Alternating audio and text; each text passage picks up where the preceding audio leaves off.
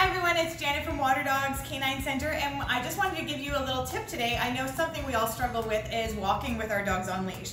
Dogs like to pull, so one thing that we do recommend is choosing proper equipment. We always start with something called a slip lead. So it's a collar and leash all in one, and what it does is it slips over your dog's head and then you just tighten this to make sure it fits properly to your dog. That way when it's on your dog, they can't escape. It's a really safe method to use.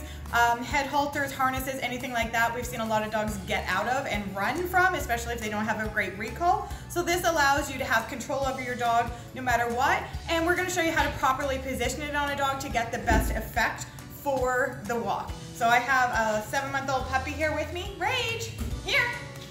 Good boy.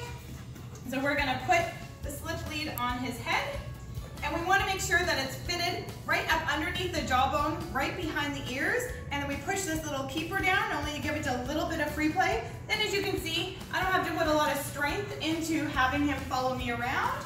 So I'm gonna pay him to hang out with me for right now. And all we're gonna do is I say to my dogs when I'm ready to go for a walk, I say, let's go, which means we're gonna walk off together. Good job. If he gets ahead, a little bit ahead and pulls on me, good boy. When he catches up with me, I'm gonna pay him to hang out with me. So we wanna build a relationship where you can see the dog is checking in. Good, like this where the puppy follows you around and then if you need to pull on him, you've got least amount of pressure, good boy, where he can follow you there. So what we're looking for is the dog to pay attention to you. Range, sit, good boy. So that the puppy or dog pays attention to you rather than checking out when you're out walking around the neighborhood. What I like to tell my clients is if you can't take five successful steps, don't worry about taking 5,000 unsuccessful steps. I'd rather you teach them how to work properly on a leash and how to follow you. Great. Yeah, good boy.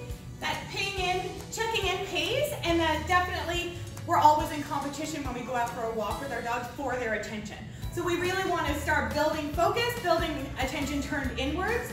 Um, we do recommend always starting on a slip lead, and if you have any other questions or are still struggling, please feel free to reach out to us here at Waterdogs K9 Center in Barre. Thanks everyone, bye.